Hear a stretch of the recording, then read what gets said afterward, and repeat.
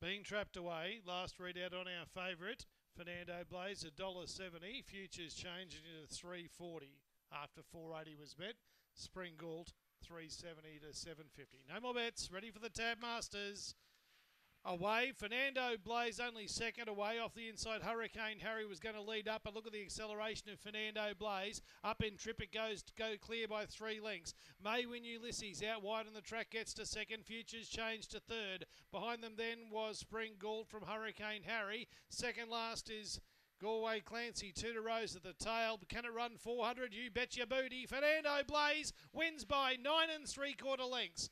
Seconds tight, either Spring Gould or Futures changed in a tight camera and not.